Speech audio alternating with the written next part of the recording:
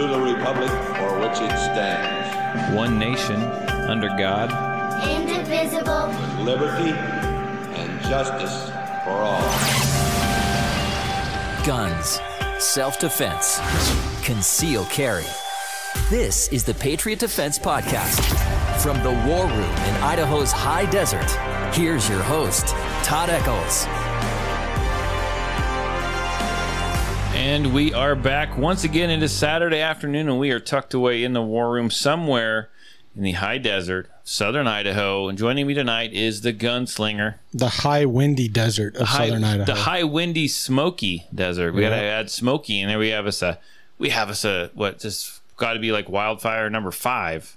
Probably. We've had four in the South Hills already. Yeah. We're coming on this way early. there ain't gonna be much left. There's not much left, and then we got one out in the desert right now. It was up to 800 acres, and the and then the wind started blowing. Oh yeah, so it's gonna go pretty good now. Yeah, the grassy plains out there. So the whole state is burning down.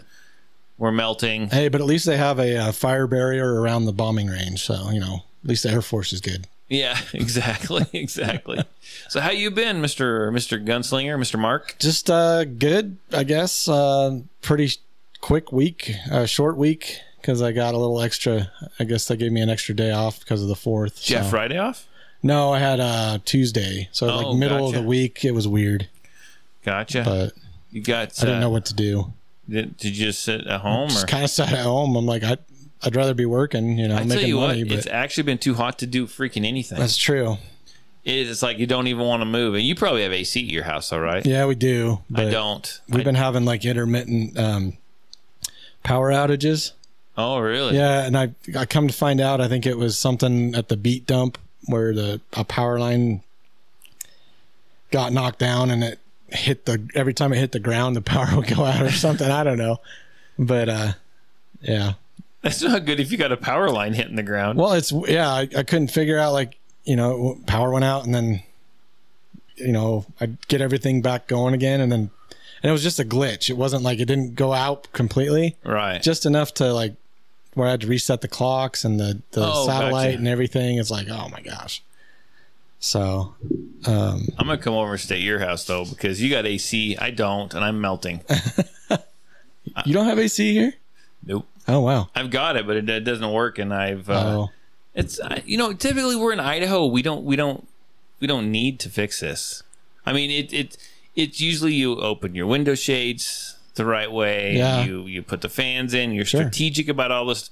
I, it's been freaking hot though. Yeah. If it's going to be this hot, we need like 50, 60 degree nights. well, I mean, they didn't always have AC. Uh, I've So- never. I don't think I. mm, The only house I've ever had AC in since I've been married was uh, in Kansas, and Oh. you needed it over there. Yeah.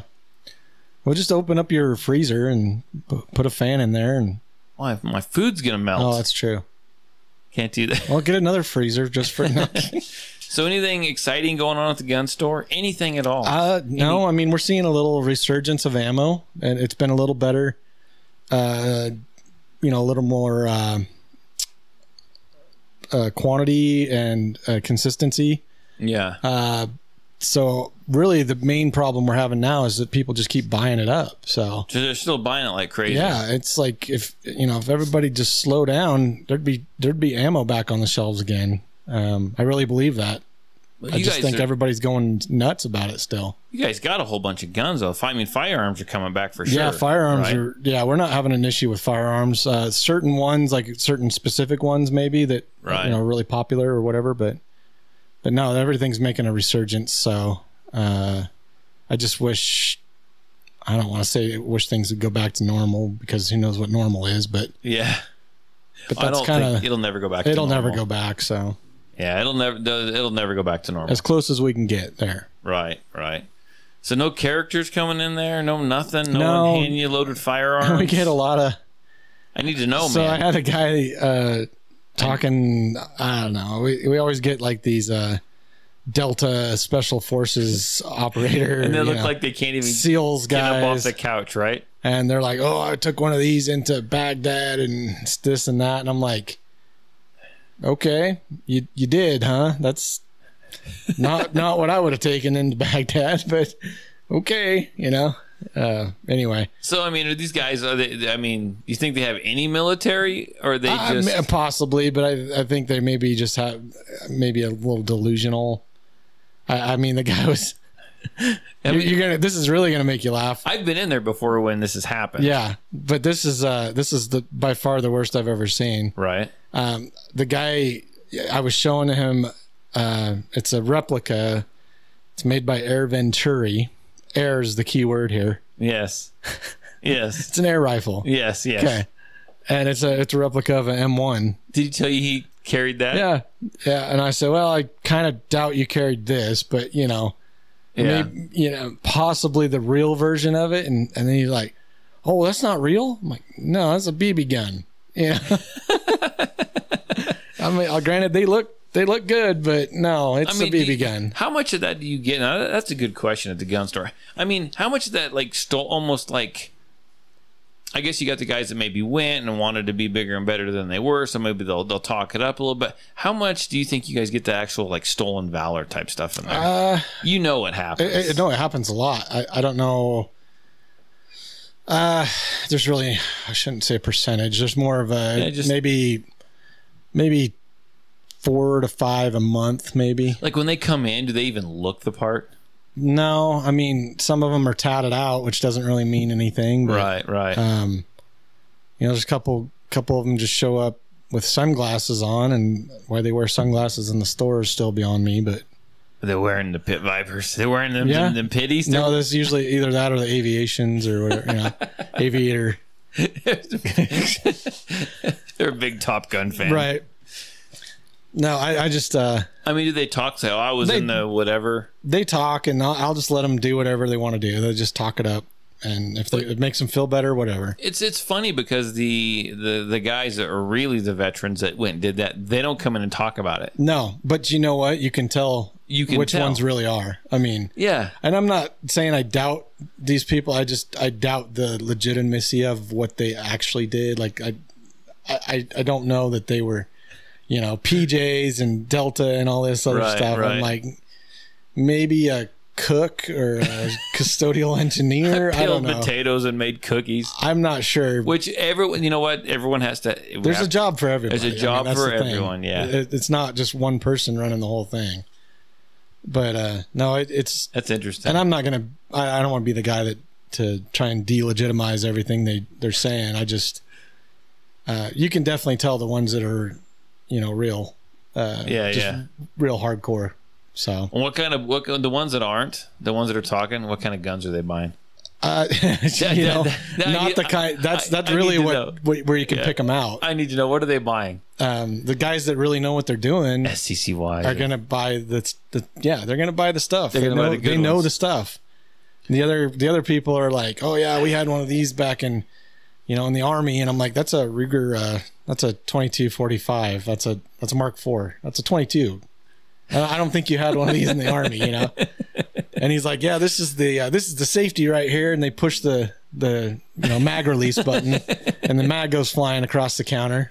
Oh Um, man, that's funny. I, I mean, they kind of do it to themselves. I don't need to add Right. any more to it. So I need to come hang out there. that really happened, by the way. The push the mag release button and really? Yeah, He's like, this is the safety. this is the safety. He's showing his wife or girlfriend or whatever. This is the safety, and and then the mag just flew across the the counter, fell on the floor, and I'm like, oh jeez, you know. nope, nope. That's that's not the safety. No, that that would be the, and then yeah, it's funny, um, because Tony was the one doing that, and Yeah.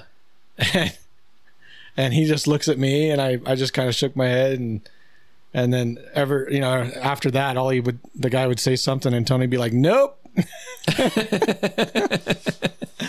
so Did they buy a gun? no, no, they, I think they, uh, I think after a few mistakes, they finally realized, okay, maybe we, maybe I, you know, the guy didn't want to make himself any worse Right, than he already right. was. So He wanted to come in and buy that that that top dollar SCCY. Yeah, I'm so glad we got rid of those. Oh, you guys don't sell those anymore? No, no, we told, uh, we told our buyer that Good. You know, if we're gonna carry the the G two, let's just do that because it's That, that is that is It's twice the gun that that SCCY that is. ten times the gun Yeah. that the SCCY is. and I'm not saying it's great, but it's it's better. Oh yeah, yeah.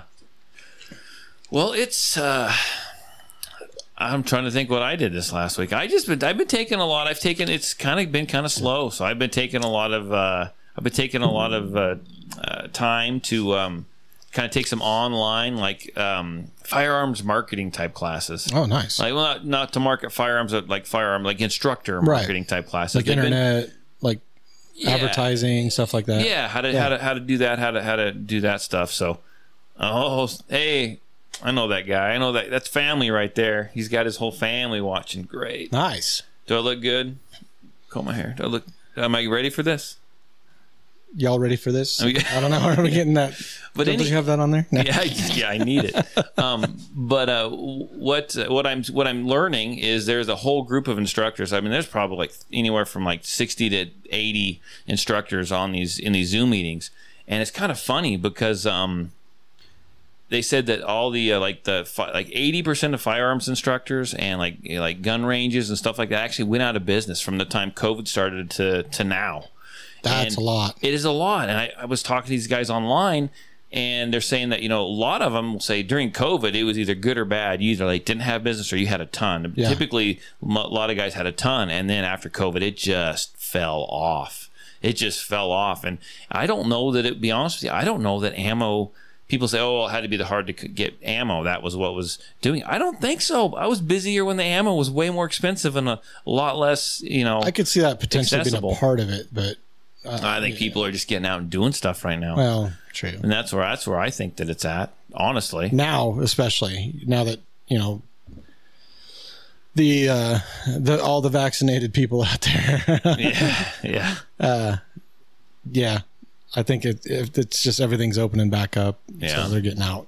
So anyhow, well, what's your you you you brought up? There's a new 380 that came out on the market, or is it out, or is that It's just? it just debuted. The first time I saw it was today. Do you guys have it? I doubt it. Okay, what is it? What is this 380? It's the uh, it's called the so Ruger came out with their Max Nine, um, which was the answer to you know, Ruger's version of the we talked about this last podcast. Uh, Yeah. 365, the Hellcat, all those different ones. Um, so Ruger has the Max Nine. Now they've got the Max LCP, LCP Max or Max LCP, Right. Which is a 380, uh, 10 round capacity. so is that the one where the magazine's shaped funny and it comes? It's like a single. Yeah, stack so it goes top? from a double and then it tapers into a single. Um, that way they don't have to change the the slide or anything like that. Even though the Mm-hmm. Max Nine was a total new um, new design for them, but um, so now they're doing this LCP version in a 380. 380. So you think that's going to take off as well? I mean, I Well, mean, I think it, I think it has potential because the the EZ, the Smith and Wesson EZ, was a really big hit in a 380. right. Um, but that's, I mean, that's kind of a That's a specialty gun. specialty a design, gun. a niche gun, yeah. And this one's just going to be.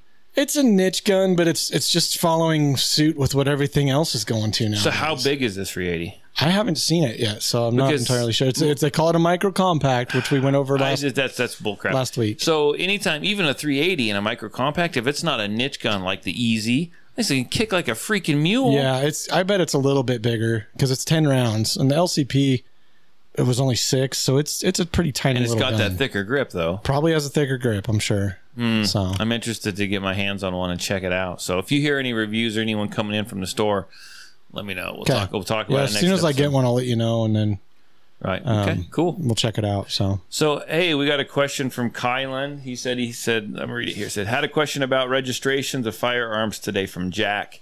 He asked, I bought my first two firearms. Are they registered already? If not, where do you register? Um, and there, he's in North Carolina. I don't believe North Carolina actually has a state registry. As far as a national registry, t- tell him how the paperwork trail, how how it's supposed to work. So pretty much the the form you fill out is the ATF 4473 form, Right. um, and that's for any firearms purchases, uh, and it's a national thing. Everybody has to fill out that form. Some states, uh, for instance, Oregon, you have to um run through the Oregon State Police.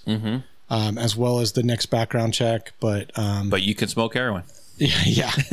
um, So as far as the NICS background check goes, when they run your background check, all they know is that you bought a long gun or a handgun. Right. Okay. Um, I, certain states, I'm sure, are, will turn in all of the stuff and tell them exactly what you bought. Mm-hmm. Um, there are some states that do have a registry. I know Idaho doesn't. Um, I don't know that North Carolina does. you keep chatting. I'm going to Um, find out. Oh, so if he bought it in Idaho, then there is no Idaho registry. Oh yeah. There's no Idaho registration. No. yeah. Um, but so what's going to happen is the the place he bought it from is going to have to keep that paperwork in, in you know, file it away, not the garbage file it away, yeah. Yeah. but they have to keep it for 20 years, um, required to. Um, but they don't have to, you know, that information won't go out to anybody except if the ATF comes and does an audit or something. That's the only place, only people that are going to see it other than the, the Right. store that he bought it So there's from. not a there's not a um uh, a required. Uh, Idaho doesn't require that you register your firearms right, at all. Right. So, and as far as federal, as of right now, there is no federal. They say there's Mm-hmm. no federal, but yeah, as of right now. they say, they say it is. But you know what? Here's and I'm always got to throw this in there because you know I don't trust the government. But um, so when you go to where you work and we fill those things out, it's online. When you hit send, where does that go? so it's not, it, could that's the it- funny thing. It could go to two different places. That's the funny thing is it's not technically online. It's just you're filling out the form okay. on a tablet. Um, as soon as we get that information, that just goes to the Your doc, file. the document to, so we can print it out because we have to keep a printed trust, copy. I trust you, but I don't trust the federal government. Right. I can I can be thinking sometimes not even mention. I swear. Sometimes I'm thinking I'm going to go out and buy a red tractor. The next day on my phone, Yeah. I get Google ads for Right, freaking red, red tractors. tractors, yeah. So you, I don't know, man. There's supposed to not be a registry, so he's Right. he's okay if you bought them in Idaho. You're not required to register them anywhere. Mm-hmm. Go um, buy some ammo, take some classes, and enjoy them. So now what what happens in, in a case that let's say that gun is found at a crime scene or used in a crime, Right. they'll take the serial number off of that gun. Uh huh. They will contact the manufacturer. Mon- manufacturer says, "Okay, we we made this gun this date. We sent it to, let's say, Big Rock as a distributor, Right. Um, and Big Rock they they contact Big Rock. They have the the uh, serial number on file. Says we sent it to D&B Supply." And then they contact us and we say, okay, we sold it to this person. So there is a trace that you can do, but it's kind of a long deal. But that's only in a case where like law enforcement needs to know where this gun came from, who far, it belongs as to. far as a registry, they're not going to be able to like look at that gun and say, "Well, this gun was used in this crime. We're going to punch in the serial number and have it." Yeah, it's not going to instantly Actually, pop up. actually, actually, if you've reported it stolen, True, it would pop up. if you've reported it stolen, it will pop up. yeah, So there you go. Yeah. The ins and outs of that. and that's We- that's definitely the thing you want to do. Is if it is Yes. stolen, you want to report it as if stolen. it is stolen, I always encourage everyone, and I'm, you know, I don't always do as I say, and so I need to be better at this myself. If you've got a bunch of firearms, rifles, shotguns, handguns, whatever it might be, um, you know, write those serial numbers down. Write the serial down number down, the make, the model. If you added anything to it, right? This is really good for insurance purposes. Now you need to. I would keep a set one set at your house. That list. I keep that another list somewhere else because if your house burns down or your gun gets stolen, right? see your gun get stolen and you want to tell hey tell the law enforcement officer you know call them and say my gun's been stolen i need to report this hk is stolen it's a vp9 and they're going to say well what's the serial number if you don't have a serial number to give them they can't put it in Tough as a, luck. tough luck i mean they can't put it in as a stolen firearm Yeah. and there's a very good there's a good chance that if it's ever used in a crime and they, and they do find it um, and you do have the serial number and they've entered it as a stolen gun you could possibly get your firearm back Yeah, and at the same time, if you if you go to sell your gun, like in Idaho, you can sell to a, another person. Um, Right. I don't usually, unless I know the person really well and I know they're not a felon or something. I don't just sell it to anybody. right Um, But in the case that you do that, you do want to make a paper trail of it. You want to make a bill of sale. You want the serial number. You want the date. You want both parties involved. All the information you can get. That way, if the gun is ever used in a crime, you can show them, hey, I yes, I did buy the gun at at such and such store, but then I turned around and sold it to this person, and I have paperwork Yeah. right here saying this is when it was sold and everything. And So, here's the thing: if you you don't have to do that, but if you do want to do that, and um, you go to do that to the person who's buying the gun, and they seem like, oh, I don't know, I don't know if I want to sign this, or I don't know if I want to do that, then that should be a red flag. red flag. Don't sell Maybe the gun. they shouldn't have a firearm. Doesn't right? matter if you're strapped for cash. Don't sell the gun. Don't It's sell not the worth gun. it. You can go to a pawn shop and sell the gun if you're strapped for cash. They'll buy it. It doesn't matter. Yeah, So, okay. So that's a good question. Though. that was a good question. I hope that answered your question, Kylan. Uh, kind of the ins and outs of that and everything in between is what it felt like to me. yeah. So, hey, did you see my holster modification? No, which what, cu- I wait, which one? My my two hundred dollar holster. I cut it to fit my red. No, you did not. I did with the Dremel tool. With the the wedge one? Yeah, Is this the? Oh my gosh! No, I didn't see that. yeah. I customized that baby. Wow, you customized a custom. Dude, I bought. I bought. I, I cut like I cut like one hundred and fifty dollars off that two hundred dollar holster. wow. I just trimmed it a little bit. Well, does it does it work better? Oh, it works freaking great. Okay, well there you go. That was worth it. works absolutely great, man. And I, I think I posted a picture on Instagram and I actually tagged um, Keeper's Concealment in it. Oh, I was like, check it out. I cut your holster all up, man. They were probably thrilled about that. yeah, they, I'm sure they were. I'm sure they were. Um, anything else? Anything else that comes up at the gun store? New guns, new anything? we we've got a.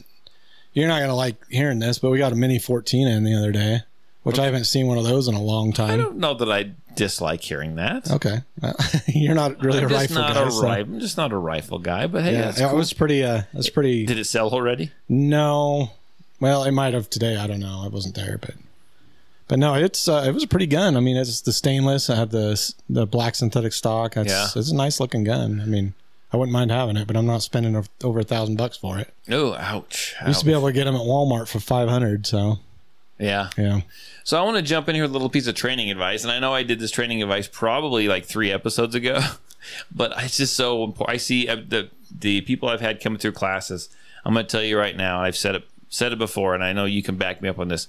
How you press the trigger on your firearm, learning to press that trigger on your firearm is probably 85% of of shooting the gun accurately yeah, dry fire people dry fire get to know your trigger do not slap that trigger doorknobs, light switches, and like the top part of the ceiling where the walls come together. yeah It's a great spot to aim. Yep. Aim your gun, dry fire, learn the trigger. So when you are pressing on pressing your trigger of your firearm, there's going to be typically, if it's a striker fired gun, there's going to be three parts of the trigger. You're going to have your slacker, your what we call your slacker, your take up. You're going to have your wall. That's where it stops. Once you get to the wall, you press through the wall um, until the trigger breaks, and that's where it fires. And you don't have to like you know ramrod that thing back. You don't want your trigger slamming into the back of your gun, the back of your trigger guard. That's not the way It's way more it of a squeeze than a pull. Yeah, and so I tell everyone, you know, press when you say press is with two S's. Uh, when you're when you're referring to the trigger and you press the trigger, it's seven S's.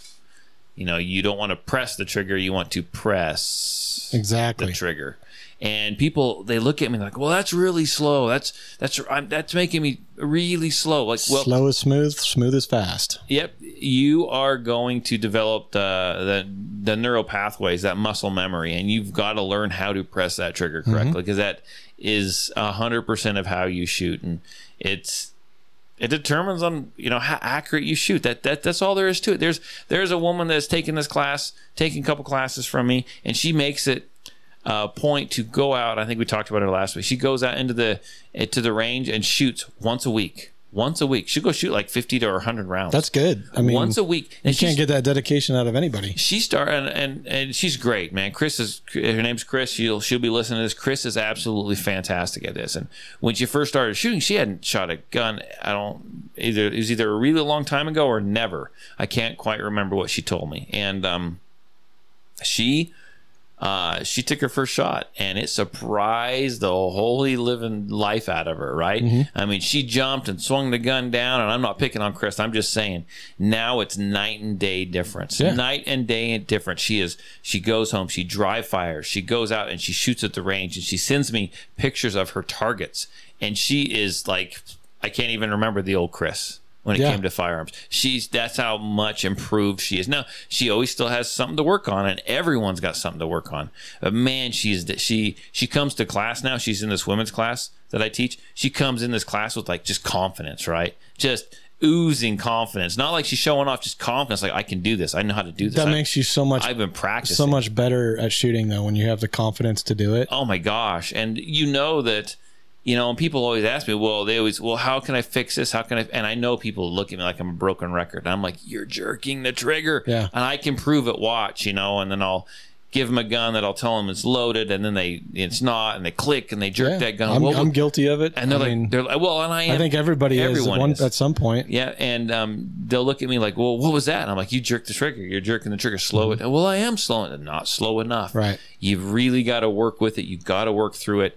And I, people just look at me like, "That's all you ever tell me is I got the trigger press." I'm like, because that's 85 percent you know of something I found that really helps me out is like when I go to shoot, I'll spend at least five minutes prior to Right. shooting dry firing. yes. just to Mm-hmm. get that trigger pull, you know, and, and I, you want the gun to surprise you, to- you know. But yeah, I try to avoid jerking the trigger, Yeah. and that's how I do it. Is I just practice prior to it. Yep, and you've seen me, and I tell everyone that if I'm out shooting with my buddies for fun, right, and they, they say, "Hey, I got this new gun, you should try and shoot it." What's the first thing I do? Freaking dry fire Yeah. that thing because I tell them I dry fire because I don't want to look like a know moron. the trigger. I don't want to look like a moron. Yeah. I want to shoot this thing the best I can Yeah. shoot, right? And that's the only way to learn that trigger. So let me ask you this: This is going to be the uh, the Zen or the yoga, Ooh. the Zen or the yoga side of shooting. Is what I'm Namaste. call it. Yes, exactly. So and I know how it is for me, right? And I just I was one I'm going to ask how it is for you. When I shoot, you know, and I know kind of the trigger press and everything like that. For me, when I shoot, everything just feels right. I know I'm doing everything correctly and I kind of just like almost clear my mind. Right? You could Yeah. be standing there talking to me and I'm typically not even going to hear it or pay attention to it. Mm-hmm. I'm focused on what I'm doing and it's like it's almost like and this is just standing there shooting a target. It's almost like time kind of stands still. Does that make sense? Yeah. I mean, and and I can feel everything. I can feel uh, my my I'm right-handed, so I feel everything with my finger, my hand. I can feel what I'm doing with the firearm. Absolutely everything, and it just kind of, it's just like time stands still when I fire the gun. Is that is? I mean, is that is that just me? Am I just crazy? or I think everybody's got a different way because I, you know, when I step up to the line, I'm locked and loaded, ready to go. Um, you know, I'll t- I'll bring the gun up. I'll have my finger off the trigger. I go through the fundamentals in my head. right. I step by step, you know, work into it. And then once I start shooting, then I don't go through the whole batch of them all at once or, you know, from the beginning. sure. I, I go, you know, I'll go from the beginning on the first shot all the way into when I actually fire. And then the next rounds after that is more like the last, you know, couple steps. Well, everything smooth. Everything Yeah. smooths out in your brain. Right. But if you were having troubles, you're going to immediately stop it, and you're going to back Yeah. it up, and you're going to start going through them in your. Mhm. And I focus, I try and focus on what I'm doing, not just the target. Right. You know, I focus on the sights. I focus on the, the gun itself. Um, you know, there's probably 95% of the time when I'm done with the magazine, I, I mean, I know it instantly because I'm, I'm, I've got that gun in my sight. right. You can see the. You can see the slides locked back. Right. A lot of the times, and you know this from classes, people shoot, shoot, shoot. They don't realize how many rounds they've shot. Their slides locked back and they're still trying to pull that trigger. Right. So I pay attention to that stuff as much as I can. Yep. And even So- when I'm not standing there just shooting bullseyes and I'm, you know, shooting quick, right? Maybe Yeah. I'm drawing that firearm, and it's the same way with drawing, right? You do it enough, you can feel it out. I mean, for me, it's just like I'm doing it quick, but it's almost like in slow motion in Right. my brain, right? And even though I'm drawing and shooting fast and maybe double tapping or whatever, I mean, I'm just. I can feel absolutely everything. Yeah. I can feel everything. I can feel the trigger reset. I can feel it's it's just it's like I'm so hyper focused Yeah. that I I don't know. It's it's hard to explain to someone. Right. I mean it really is that well what do you do and you say man my my mind is but you know clear but when you have a new shooter in there's so much nerves and there's so much stuff going on the in nerves will brain. get you, especially if somebody's watching you. Yeah. It's it's a little different. Um, the thing of it is, is like when you when you start shooting and you you you'll know instantly when you start doing bad. You Yeah. can't you can't focus on that you're doing bad. No, because you're going to start doing worse. Yes. and you just have to stop. You just have to stop for a little bit, put the gun down, you know, walk around a little bit, take a breath, Yeah. and then and then go pick the gun back up, eliminate all the bad stuff that you just did. People start to they they they they get to a point where if they mess up, they start trying too hard. Yeah. And that's going to lead to like you're doing this with the gun, you're jerking that Right. trigger. I'm not You're not remembering the Yeah. fundamentals. You're not remembering the steps because you're It's you're almost like overdoing. you're physically trying to remove that bullet from Yeah. that gun and throw it at the target. exactly. I mean, it's just amazing. I mean, I've been there. I'm not picking on anybody. I've I've done it myself. Oh, yeah, we And all You have. just have to you just have to walk away from it for a little bit. Just step away for just a, a minute or two, even. and I mean, it happens for everyone, right? Yeah. I mean, and everyone's no one's going to be perfect all the time. And some people are just like they they get so upset if they miss one Oh, yeah. shot. And I, I I'm if you want to go back and you want to make up for it and end on a good note, I totally get that. I totally understand that. But some people, especially when they're new, they get so frustrated. you know where they found that advice to come in handy? Huh? I told you last week I just bought a bow. Yes. The archery is is literally like you can get frustrated really quick. It's like the fly fishing of of shooting projectiles Yeah. almost. it's and I I literally have to tell myself to step away from it because I'm trying to do better and I just I keep not doing better. So I'm like, okay, okay, I need to back off. With you a know? bow, I'm gonna. It's kind of like shooting, right? I mean, so in a bow, if if you get tense and you're not doing it right, you're gonna you're gonna overgrip that bow. You can overgrip a handgun as well, Yeah. right? You can overgrip that trigger. You can overgrip your release on your bow. You can do all kinds of stuff. and it's it, it kind of I, don't want to put the two together, but there oh. are certain muscles that you that Yeah. you use that you don't realize you're using. Oh, yeah. your shoulders especially in in shooting a handgun. You don't realize how much your shoulders come into play. yeah. You know, And when new shooters come in and they're like nervous anyhow, they get tense in their shoulders and their neck. And I always tell everyone, I was like, you're pretty new or you haven't shot that much. Even shooting 50 rounds is going to be like, it's going to be like if someone handed you something heavy and had you hold it out in front of you. How long is it going to be before you start to do this? Yeah. Right. Not very long for most people, right? So you're going out there. You're, I'm not trying to put bad thoughts in their head, but I'm just explaining to them. You're going to be nervous. You're going to be tense, and then I'm watching you, right? Yeah. and uh, you're gonna have to remember all the stuff. And you go to shoot, you're gonna. And literally after ten rounds, I see him over there doing this. Oh, my shoulders. Mm-hmm. And I usually about that time I say, let's take a quick break.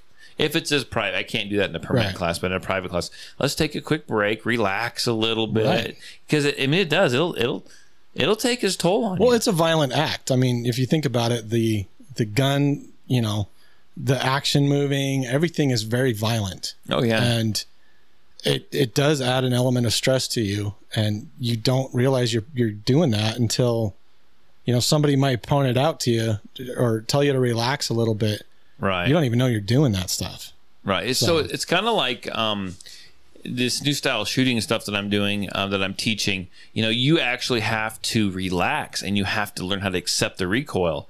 It's just like a kid, right? If when you when you have a kid, you, you've got a couple kids, right? Um, the bet one of the my kids threw temper tantrums, some of my girls, right? And you had to like pick them up and like we get we're going or whatever. You know what they would do? They would just go totally limp. Yeah. And you couldn't hardly move them, Right. Right. But if if they stiffen up, you could you know you oh, lift, Oh, yeah. lift them up and move them. Yeah. And it's just like when you're shooting a gun, you relax, Right. relax. Because if you stiffen, you're nervous, that recoil is going to push you around like a freaking, you know, you're getting boxed by a kangaroo. Yeah. I mean, really, you have to learn you'll to you'll be accept it. physically tired You will you know be. even after 100 rounds you'll just be Right. drained Yeah. so So what do we got here? We got a question from Kylan. I'll let you start. Well, I'll read it. You can start with it. So, do you all recommend a tactical reload or forced reloads when in a self-defense situation? um well i just i practice reloading i've never Right. been in a self-defense situation so Gotcha. i don't i mean I, I don't know that i'm really qualified to i don't want to dance around the question but i've never actually been in that situation um but i just i practice my re, my reloads um you know where i keep my magazine the way i have my magazine inserted. My finger goes right to the tip of the bullet basically. I bring it up and it's it's like you're pointing right to where you're going. And you're, you got to be in your workspace. Yeah. everything happens in your workspace where you can see everything. Um So here's the thing. So uh, you know, tactical reloads versus forced reloads. So forced reloads being that when you are forced to reload because you are out of ammo. I got you, Tactical yeah. ta- tactical reloads being uh, you know you're in a gunfight situation, right? And maybe you've taken cover and you got a second, and you go ahead and reload, and you don't drop your mag, right? You shove it back in your pocket or whatever because you may not have an empty magazine, but Right. you've shot half of them out. You might as well stick a fresh one in if you've got a second, right? Mm-hmm. It just kind of depends on the situation. I mean, I'm gonna be honest with you. Most you know, most self defense situations, we, we train. We train for the Yeah. worst, right? You train to reload, you train to do all that stuff, and and I've done you know tactical reloads and whatnot. But in all honesty, and I'm not trying to downplay any of this because you always prepare for the worst and hope for the best. A self defense situation, I mean, you're probably lucky if you empty a whole magazine. To be honest, Well, and it's very easy to, um, it's very easy to lose count. I mean, you're not. Uh, I mean, even out here on the class day, some people will count how many rounds they've shot. Some people is they're just oblivious to it. Yeah. they have no idea. And in a self defense situation, like, I mean, I've seen law enforcement on videos, law enforcement officers in videos, right? They're they're shooting and they don't realize they've just emptied a magazine and they're still they're smashing that trigger. yeah, yeah, Right. I mean, they just you just don't know. So Sure. uh, you practice, you know, you practice for the force reloads because that might happen. You might fire, depending on the gun. Let's say you have eight rounds, you might fire eight rounds instead of the two you think you shot, and you have to force reload, right? Yeah. But I don't. I think you need to know how to do both. there's there's training drills out there. Um, there's a deck of cards that that this company makes. It's called RE Factor. They make a deck of cards that tells you, you know, fire three rounds, Yes. reload, blah blah blah. And they they do different. It's just totally every card is a different scenario. Mm-hmm. Um, that's something really good to do. Just you know, because you're not you're not in a stressful situation, but you're able to do it if you practice it enough. You can do it either way. So Right. Yeah. So I don't. We, I don't want to dance around the question, Kyle, but that that's our answer. yeah. I mean, it, it's hard. I mean, I think you need to know how to. You need to know how to do both. Yeah, definitely. And the situation is just going to dictate. It's really hard to tell you what you are going to do and what you're going to have to do into a situation like that because it's going to be so dynamic, Yeah, right? I mean, it's going to be sure. so dynamic. There's a lot going on. Um, so it just kind of it's going to flow. Know how to do both. Exactly. Yeah. Know how to do both. Just like you should know how to shoot right-handed and left-handed. That's true. Yeah. so And it's all situational based, I think. So Yep, we got another question here. It says, "Is there an update on the class where someone shot himself?" So, uh, you know, as far as I know, I it's it's kind of been pretty quiet. I haven't really heard anything. Um, the person had shot themselves in the in their hand. I don't know if it affected those instructors negatively or not. Um, the the person I don't think was deceased by any means. From what I hear, that person is doing fine. That's that's all I got for an update on that. yeah, I don't know. I I mean, honestly, I know the- it I know kept- the- it was kept pretty quiet. I know what happened. I know the company um, that did it or that was, you know, that was doing the class. Um, but otherwise, it's been really quiet. Yeah, So, and I'll be honest with you too. I know the company, but you know, I don't want to come out and just. If something ever happened like that in my class, I don't want someone to come out and and. Yeah, I don't want a bad mouth, right? As much as maybe I, I, I don't get along with all the instructors in this valley, I don't want to be that guy. So we're just going to kind of leave it at that. If that makes any sense. I just use that whole situation and why I talked about it before. I just use that whole situation as um, a learning a learning situation. We're going to learn from we're going to learn from mistakes that happen. We're going to redo our safety, put some more safety protocol uh, in place, uh, that kind of stuff. Right? That's that's kind of the way, kind of the way that I wanted to approach that. So, okay. Anything else, sir? well, there's that really tragic event oh that we yes. should talk about, and I- then you uh, talk, and I'm gonna I'm gonna look it up so I can and read then the uh, article. Then we've got the um, the the Wally Walk that we need to talk about. So. Oh, um, yes, yes. we'll talk about the Wally Walk. So uh, th- this tragic situation we're talking about happened down in uh, uh, uh, Avada, Arvada, Nevada, Av- Arvada. Avada, or something, Yeah, Colorado. Arvada, Colorado. So let me. I'm going to go ahead and just read this article. Sure, yeah. And then we can just go go through and talk about it. okay. Says uh, John Hurley was hailed by police as a hero for shooting and killing. excuse me, a gunman. They say had killed one officer and expressed hatred for police in a Denver suburb. Uh, but when another officer rushed in to respond and saw Hurley holding the suspect's AR-15, he sh- shot Hurley, killing him. Police revealed Friday. This di- disclosure helped clarify what happened on Monday when three people Hurley, uh, Hurley, Arvada police officer Gordon Beesley, and the suspect, uh, suspected gunman Ronald Troyke died in a string of shootings in the historic uh, downtown district of Arvada, an area with popular shops, restaurants, yada yada yada. So, according to the timeline and video released by the police, Troyke, who was 59 years old, ambushed Beesley, the law enforcement officer, after he pulled his truck into a parking spot near Beesley's patrol car. As Beesley as Beesley uh, was responding to a report of a suspicious person, the video shows Troyke running toward Beesley down an alley. When Beesley turns around, Troyke raises his gun and fires at him as two people stand nearby. Beesley falls to the ground in the video. According to the video, apparently from a surveillance camera, uh, and a police narration of it, Troyke grabs an AR 15 rifle from his truck and is carrying it when Hurley confronts him and shoots him with a handgun. When another officer arrives, Hurley is holding Troyke's AR 15 and the officer open fire. Hurley shooting of Troyke and the officer shooting of Hurley are not shown in the video. So there was a gentleman, uh, a dead set on harming officers. They said that he had, if you read further in the article, which I will not bore you with my recitation of that article. Um, uh, this guy's brother called law enforcement and said, "Hey, look, my brother is something. He's going to do something. He's on edge. He's calling out law enforcement, whatever it is." Anyhow, this guy ambushed this, this law enforcement officer and shot him. Right? He walked back to his truck, reached in his truck to get out an AR-15, and went to sh- shot some other windows and stuff. Shot some windows. They said of of, of some patrol cars, which I don't I, I don't know that there was other patrol cars Right. in the area. I think it was just the one, but at the time anyway. and this gentleman was in the area. He heard the gunshots from what I've read, and he ran toward the gunshots. And he came up on uh, this bad guy that just shot this law enforcement officer, and he shot him and killed him. hmm With his handgun. Yep. Shot him and killed him with his handgun. Good, right? He saved the day. Then all we know is law enforcement. Uh, another law enforcement officer showed up, come screaming up there in his car. He got out of his car. He saw who to him looked like the suspect, right? Because he had an AR-15 holding the AR-15, and then um, uh, the law enforcement drew down and shot him, right? And or immediately shot him Yeah. from what we know.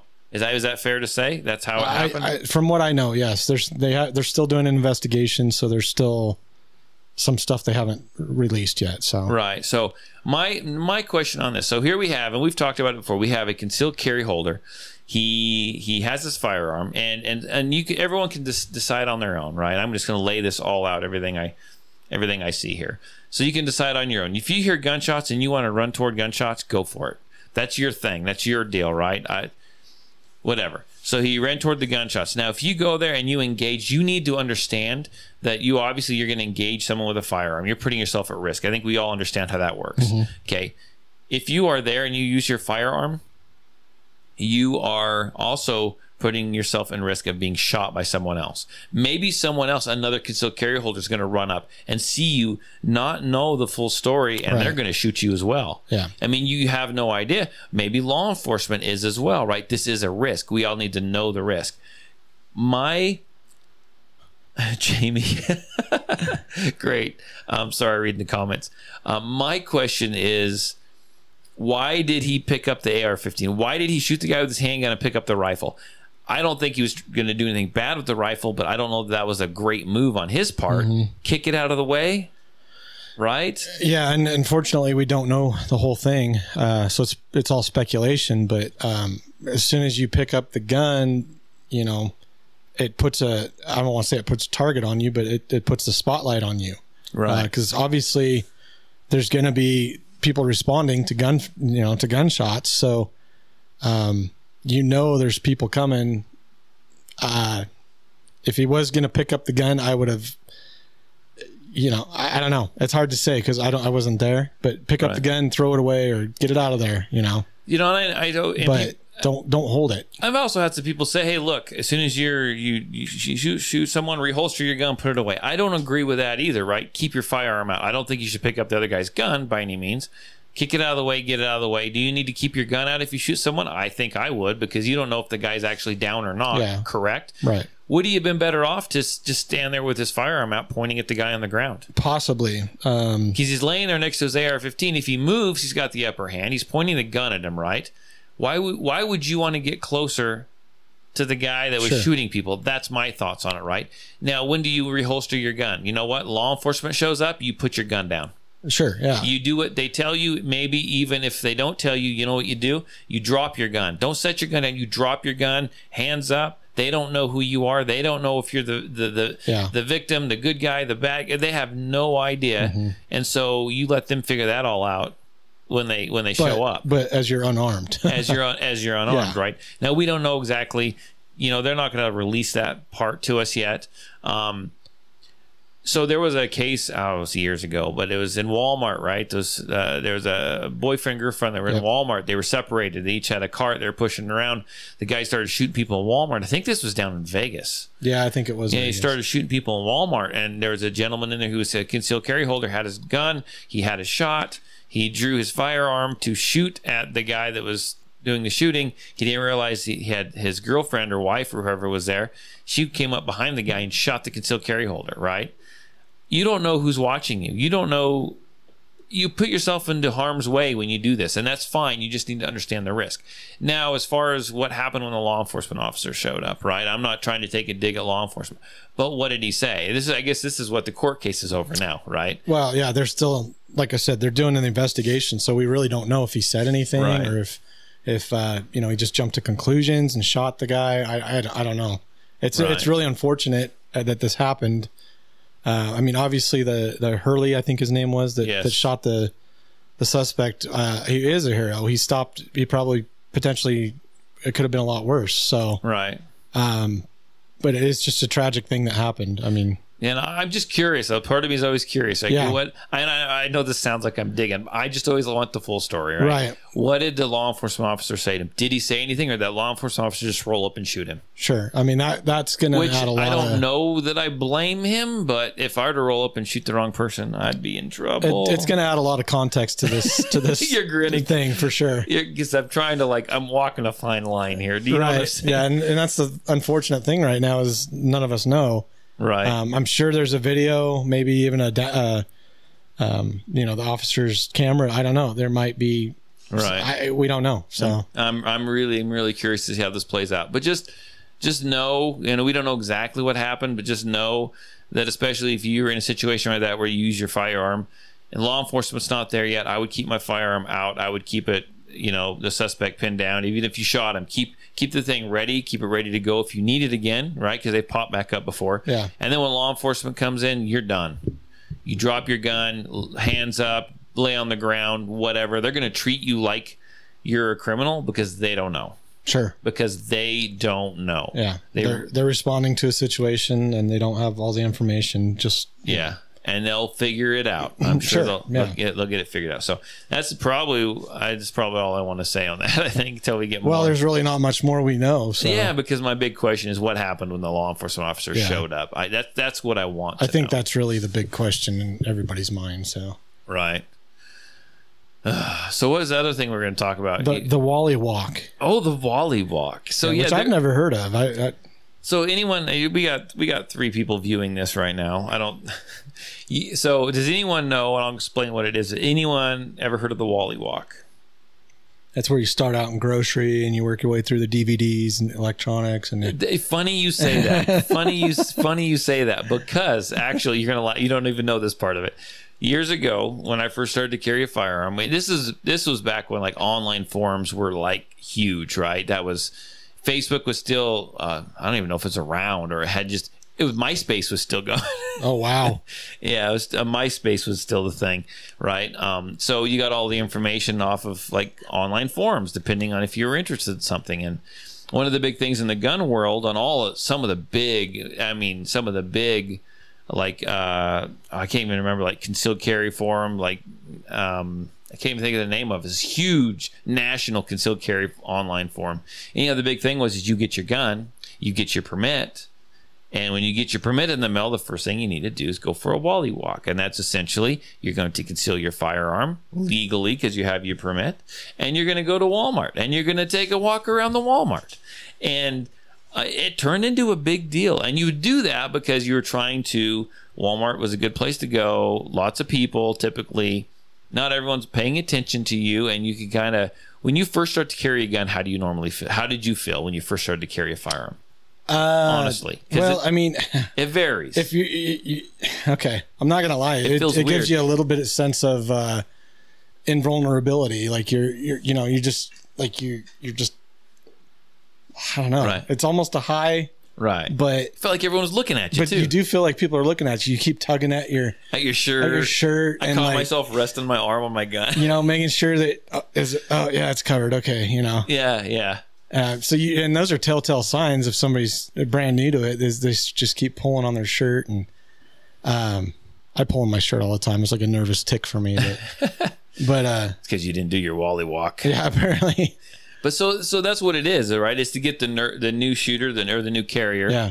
schizo carrier, to kind of work the nerves off, right? You had Yeah. to go walk through Walmart. That was a big thing, and people would post like, "I, I walked, I did my Wally walk today." That Mm-hmm. was, for a while, people thought that was like an actual required thing that you Wow. had to do. In fact, someone got really clever, and they they realized that all, most all WalMarts are the same layout, yeah and.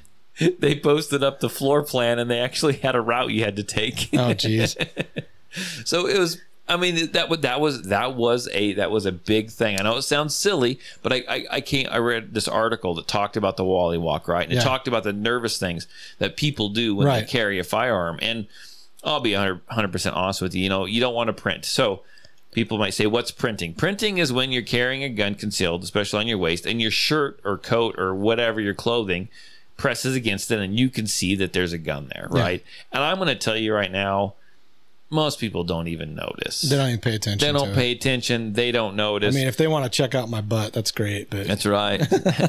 I used to worry about that a lot, you know, and you know anymore. Like I went to the I went to the Fourth of July uh, uh, Day parade here. We had at a local hometown, and I never wear shorts unless I'm running. I wore a pair of shorts and a t-shirt, and I was appendix carrying, and you could tell, you could tell I was carrying. It wasn't a big deal. No one else, no one else noticed. I mean, it was mostly in my brain. Do you know what I'm saying? yeah I mean, I still do look in the mirror and go, I wonder if they can tell, but and then you're like hey look at that Look at that. Is that a firearm? Or you just happy? Never mind. But uh I just so that's the Wally walk.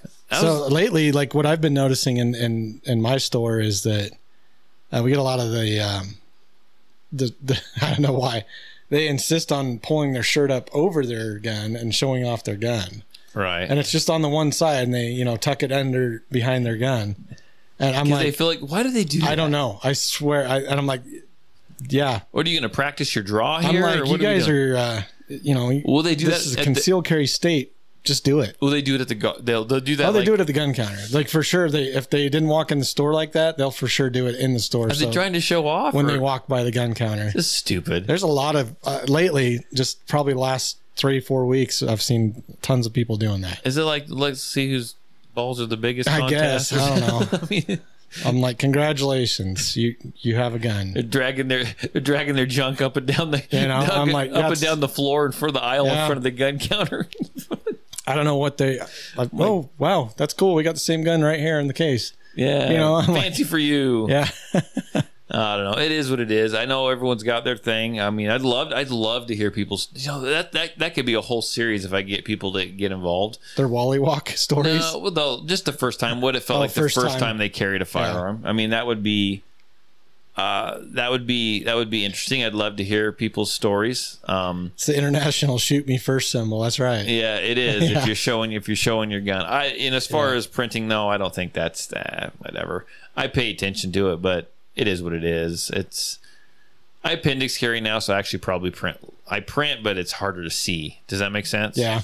Well, I think a, What are you looking at my junk? The good Are you looking at my junk? Why a are you good at my holster junk? makes the world of difference too. A what? know? A good holster. Good holster and a good belt. Yeah. World of difference if you're worried about printing. So The only guy that's ever called me out is the guy that teaches my class. He, he that, that does a law enforcement portion of my Yeah. class for me. He'll tell me, he's like, "You carrying your gun today? I see it. I see it." I'm like, "Just freaking leave me alone, Stacy. Just leave me alone." I was like, "You you know what to look for. You're looking for that, right. but Yeah, ninety eight point nine percent of the people out there don't even realize. Do you, so I talk about how printing is not a big deal to me, but I don't know if it's the same way. But when I lived down in Kansas, if you were in Oklahoma, printing was illegal.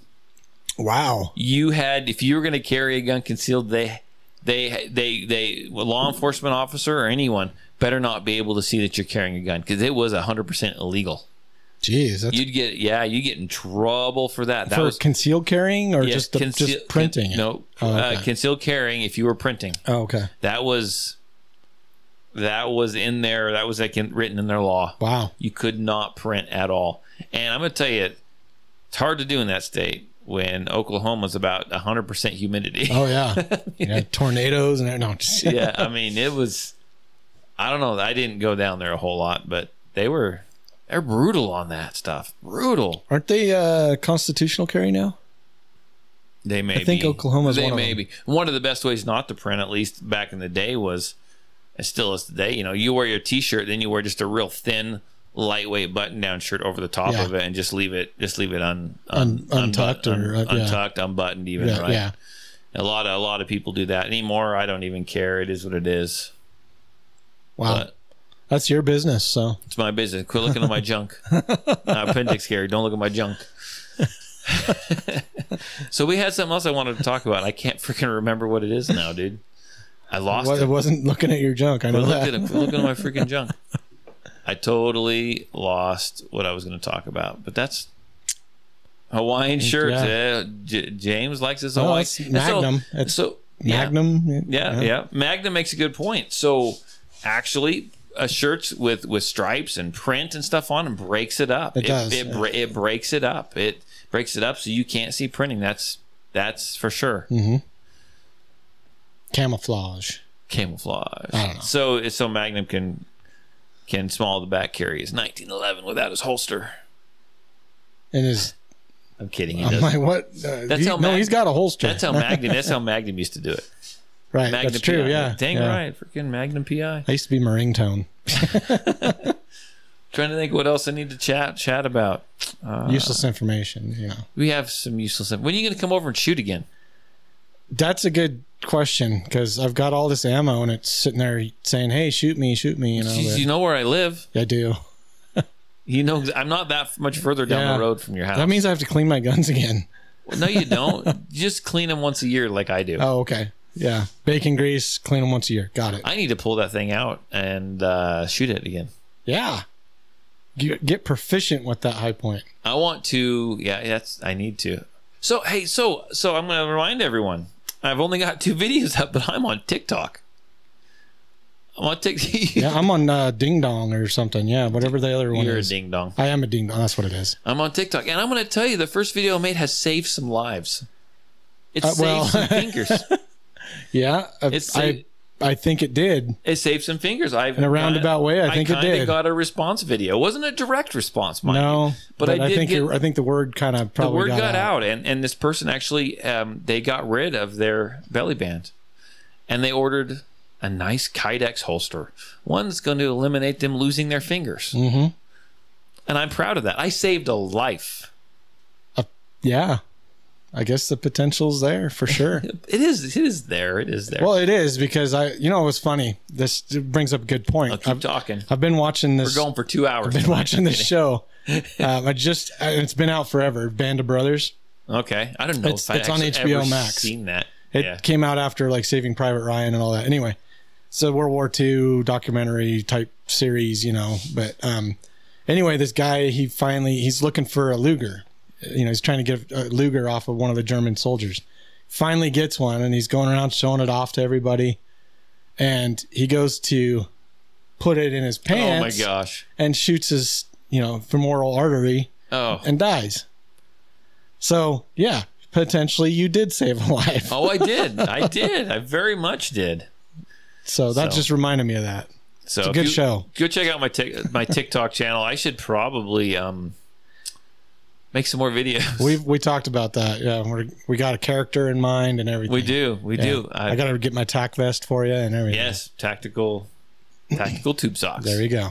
So anyhow, I want to appreciate uh, tell everyone I appreciate you for tuning in and watching us on YouTube Live. I really appreciate that. Um, thanks for subscribing to the podcast. If you do, share it with your friends and family. Like always, it's the only way the podcast is going to grow. But We'll be here. I'll be here regardless every every week. Now I do want to shout out there. I don't know that I am actually going to be able to do podcast this coming weekend. You got to run? I've got a race. Yeah, I'm leaving on Friday and I won't be getting back till Sunday. on a jet plane. on a no, No? Okay. and a Chevy pickup. All right, cool. In a Chevy pickup, me and my 15 year old are heading out to run a 55k, so 34 miles um, along the Continental Divide. Wow. So kind of looking forward to that. It's going to be fun. And then afterwards, I get my mandatory like 12 hours of eating whatever the hell I want, as much as I want, and then I get sick about noon That's mandatory? I, that's what I that I allow myself to. That's cool. Yeah, because I don't I don't allow myself to do that very much. Yeah. but I'm looking forward to that. So I don't know if I'll get a show out uh, the weekend. and I might push it off, and it might be like beginning of the next week or something. But um, just thought I'd throw that out there, let everybody know that. But thanks for listening. Thanks for sharing the podcast. I do appreciate that. Share it on your social media. If you got any comments or questions or anything like that, you can get a hold of me. You can call me. You can text me. Area code 620-794-6223. That's area code 620-794-6223. I'm always on my phone. It's always ready to go. Um, what else? What am I missing? Uh, Anything? Am I- shout out to some of our listeners. You Hey, know, like yes, I. James and uh, Kylan, obviously, they're commenting. I love comments. That's Oh yeah, it kind of helps us out with the show. Yeah, it, it is. Um, it's it's fun. Well, I like um, that. Mo over in Boston area, obviously, she's fun. She's so fun. So you can go So a car and holler. Yeah, she's gonna freaking hate that. Okay, well, uh, you guys, everyone have a good Fourth of July. I don't know if you're doing your festivities today or not. We kind of get to spread them out over the entire weekend. Um, I'm gonna wake up, do a little fishing in the morning, come Cool. back home, eat some lunch, and enjoy the fireworks. I'm gonna feed my dogs anti-anxiety pills. You're gonna drug them. yeah. Sweet. okay, until then, you everyone have a good, safe Fourth of July. Don't shoot your firearm straight up in the air. Bad things happen when the bullet comes back down. And I want to see everyone back here in a few weeks, and I want everyone to have their fingers. Yeah, okay. To have their Firecrackers, though. I'm just saying, what? It's Firecracker Day. You need to light them and then get rid of them. Oh, okay. That's the way it needs to be. Just don't lap. Just don't wrap your hand around it. hey, right? James thinks we're badass. Well, I don't know if I go that far. Well, we've got we've got him fooled. yeah. well, thanks, James. Thanks, everyone. We are. It's starting to get a little smell, a little gamey in this room. and It's a little hot. Sorry. it is what. Okay, guys. We'll see you later. Bye.